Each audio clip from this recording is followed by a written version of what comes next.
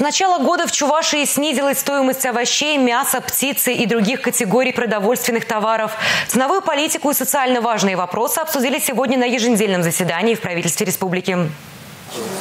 В октябре в Чувашии отмечается низкий уровень цен на социально значимые продовольственные товары. По ценам на картофель республика занимает первое место среди регионов России. Сыры – первое место среди регионов ПФО и второе место по стране. Несмотря на то, что цены по отдельным продуктам питания увеличились, вот, например, на пшено, на рыбу, на хлеб, э, на муку пшеничную, но все равно э, сами цены остаются низкими э, в сравнении и с ПФО, и с Российской Федерацией.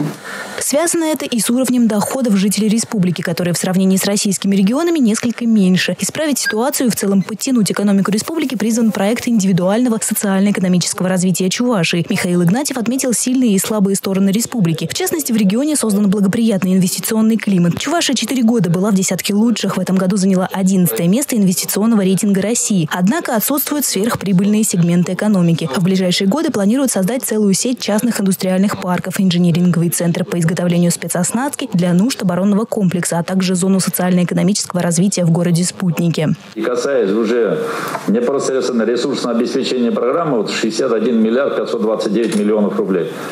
Это уже Минок, Минэк России согласовал, через Минпром прошел, на уровне правительства, департамент сейчас обсуждается. Максимально нужно постараться для того, чтобы все те объекты, проекты, которые есть, должны у нас быть утверждены. Итого практически там у нас 194 мероприятия. От общей суммы всех денег 70% это направление на экономику. Напомню, что при разработке программы регион активно сотрудничал с федеральными министерствами. Предусмотрена реализация стимулирующих мер по ключевым отраслям. Их итогом должно стать улучшение качества жизни населения. Ирина Волкова, Игорь Зверев. Республика.